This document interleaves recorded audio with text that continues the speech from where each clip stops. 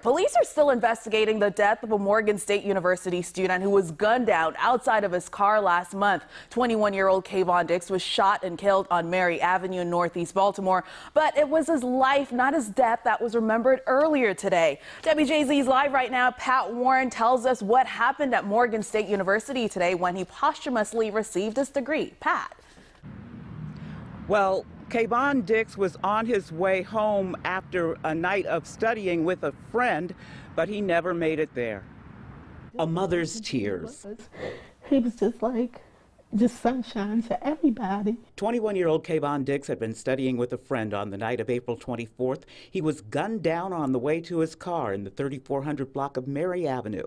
Neighbor James Winfield heard the shots. Tried to talk to him and encourage him to hold on until yes. until help got here. Mm -hmm and I watched the life leave his body while he was holding my hand. With great sadness, thank you.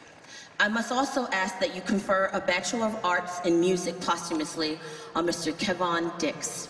A member of the Morgan Choir, Dix was considered a success story in the making. In addition to studying music, he was part of a mentoring program for young kids. Today, Kevon's brother, Kevin Dix, accepted his diploma.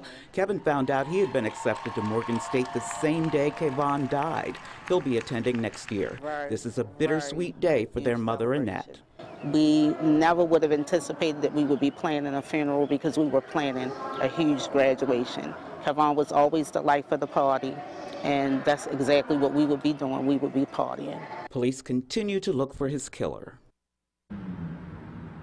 Kevon is one of more than a hundred people who have died of gun violence in Baltimore so far this year.